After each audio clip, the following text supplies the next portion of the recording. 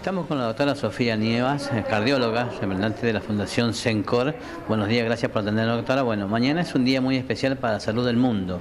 Es el día de la actividad física.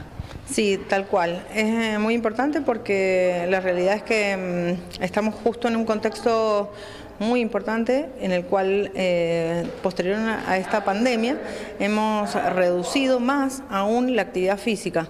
La tasa de sedentarismo se ha aumentado y eso ha perjudicado muchísimo a la población porque ha aumentado el peso y además ha mm, disminuido la actividad física y ha generado que los pacientes hoy en día se hayan hecho más sedentarios. ¿Hay mucha obesidad también como consecuencia de eso? Sí, eh, la, obesidad en sí, digamos, es como una, mm, como que van de la mano con relación a la parte de la actividad física. O sea, en general el paciente obeso es más sedentario y a su vez se va volviendo más sedentario mientras más obeso es. ¿Por qué? Porque una persona con sobrepeso tiene dolor de rodilla, tiene eh, dolores musculares, entonces se va aquietando y esto hace que el paciente se haga más sedentario y se vuelve un circuito vicioso, que le llamamos nosotros, o sea, un, circuito tóxico. Es sin duda, eh, hay que realizarse unos estudios previos para hacer actividad física o simplemente se puede hacer actividad, no, no exigirse tanto, pero se puede hacer sin estudios previos.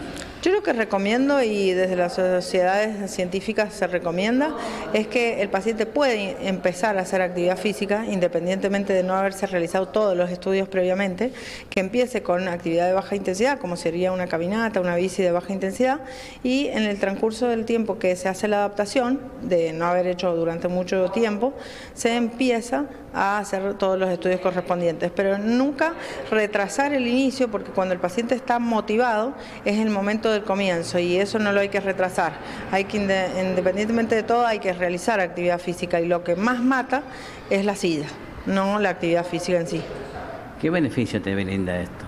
Bueno, la actividad física tiene beneficios a nivel de la presión arterial. Eh, de hecho, mm, yo siempre le digo a todos los pacientes, más zapatillas, menos pastillas.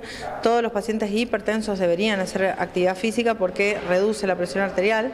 Después, con respecto al colesterol, activa el metabolismo. La actividad física activa los músculos, entonces el colesterol que uno come eh, o el colesterol que los pacientes le llaman que genera, se reduce con la actividad física, se metaboliza a nivel del músculo, de cualquier músculo, y si tenemos más activos todos los grupos musculares, más reducimos el colesterol. Después, con respecto a los pacientes que fuman, son eh, mucho menos frecuentes las patologías en los pacientes fumadores que hacen actividad física que los fumadores que no hacen actividad física. O sea, independientemente que hay que hacer un tratamiento para dejar de fumar, por ejemplo, la actividad física predispone a enfermedades si no se hace. Eh, y después, por ejemplo, eh, con respecto a los pacientes más ancianos, por ejemplo, reduce la posibilidad de eh, deterioro senil. O sea que las personas activas físicamente tienen menos chances de llegar a deterioro senil más avanzado. ¿Ha crecido en el último tiempo las personas con depresión como consecuencia de la inactividad? Bueno, otro factor muy importante que ya me estaba olvidando, así que muy bien, eh, es que mm, la depresión, eh, uno de los mm, pilares fundamentales es la actividad física. Cuando las personas están angustiadas o tienen depresiones leves y cuando tienen depresiones severas también debe ser parte del tratamiento. ¿Por qué? Porque la actividad física libera todo lo que son las hormonas del placer y mejoran la sensación y el bienestar de la persona. Por lo tanto, todos los pacientes que tienen alguna enfermedad, digamos, eh, psiquiátrica o psicológica, debería hacer rutinariamente actividad física. ¿Cuánto es el tiempo o la distancia que se recomienda para uno que recién comienza hacer la actividad?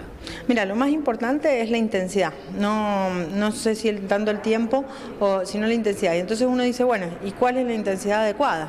La intensidad adecuada es la que al paciente no le ocasione falta de aire, no le ocasione dolor de pecho. O sea, una intensidad baja, que sería para comenzar durante todo el primer mes, el paciente debería poder hacerla sin agitarse. Entonces yo voy caminando y no me agito, perfecto, esa es la intensidad hoy, pasado mañana tengo que aumentar un poquito y así sucesivamente.